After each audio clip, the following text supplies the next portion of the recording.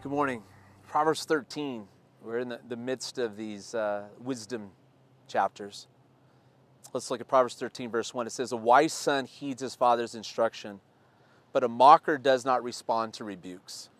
From the fruit of their lips, people enjoy good things, but the unfaithful have an appetite for violence.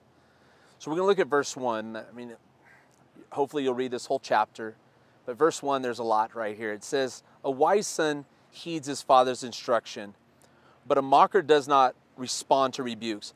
There's a subtle truth when it comes to correction. No one's indifferent towards correction. You either like receive it and you're like, okay, all right, I'm to grow from that. I'm, I'm to add that to my arsenal. I'm to add that to my storehouse.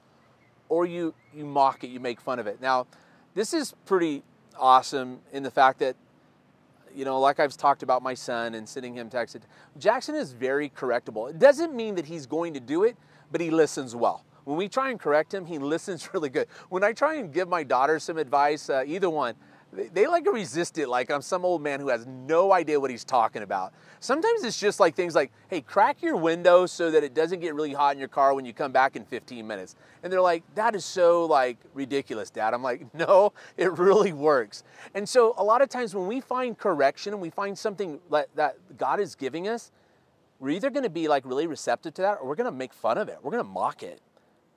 Our parents, they tell us an easy way to do it. And we just don't have the humility to say, awesome, thank you. God's constantly trying to give us an easier way.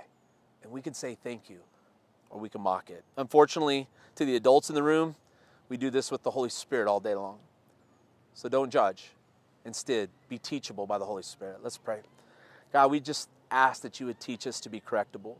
God, we would not mock your instruction, mock your rebukes, your correction. We thank you. Not only does your word, but you send people. You send people along to uh, encourage us and to remind us of what you say. God, don't let us look down on that, but let us receive it with a, a heart ready to change. God, we thank you for your proverbs, your words of advice.